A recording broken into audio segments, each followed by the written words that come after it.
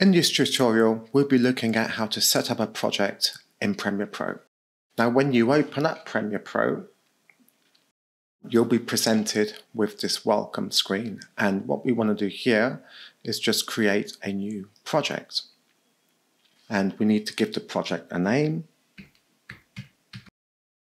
select a location where to save the project. And I'm just going to put this on the desktop inside my glass folder. We've got various options, display options really, so video can be displayed in timecode or frames and feet, but really by default, these settings, you don't really want to change them unless you know that you want to change them. So just keep them at default. You want to check your scratch disks and make sure that all of these options here are same as project. So these are all the different file types that Premiere generates when you're working on a project and you'd want to save these in the same location as the project. And here we have the Premiere Pro interface. Your first step will always be to import your media so you can start editing. So we can do that by going to File, Import. There's the keyboard shortcut, which is Command I, or inside the project window, we can just double click and locate the files that we want to import. So I'm going to go to the desktop inside my glass folder and I'm going to select all of those. I don't want to import the project and I'm going to go import.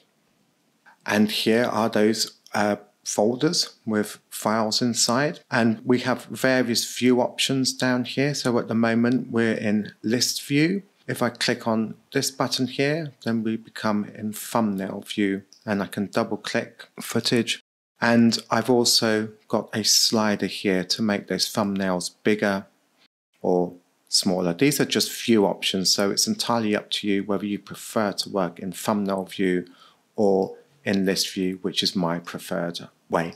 Now, the final thing we need to do is to create a sequence so we can start editing our clips. So to do that, we can go File, New, Sequence.